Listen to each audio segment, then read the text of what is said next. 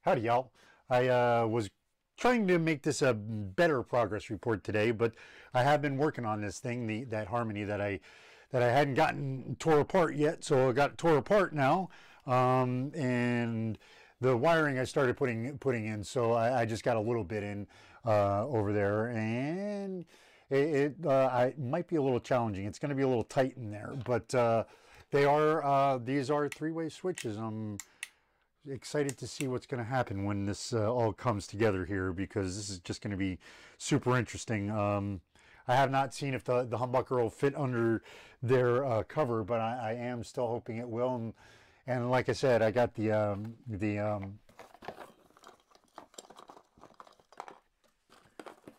The other two, I'm gonna they're gonna be zebra striped basically because I wanted both black to, to go all black, but uh, they've just been out of stock for so long. So like I said, I finally ordered. Uh, I haven't even looked at it, so it might not even be black. But uh, yep, there we go. So we got one black and one uh, white. So the black will go and is it, they're uh, definitely different uh, um, outputs. I don't remember what the what the neck is and, and the middle is, but uh, the bridge was something ridiculous, like 15 or something. So, uh, yeah, you know, um, good stuff like that. Uh,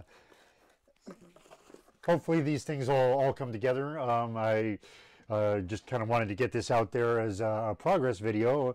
Um, it's in lieu of a day off video. At least it's a day off for you guys. You don't get to have to have my have your ears assaulted with my poor playing and and singing and such. Uh, but uh, and I won't assault your ears with anything political or anything, nothing like that. I'm feeling a lot better today, so this is a progress report on that as well. If you could like, comment, and subscribe, that would be awesome because I would like to give away a guitar at some point in time.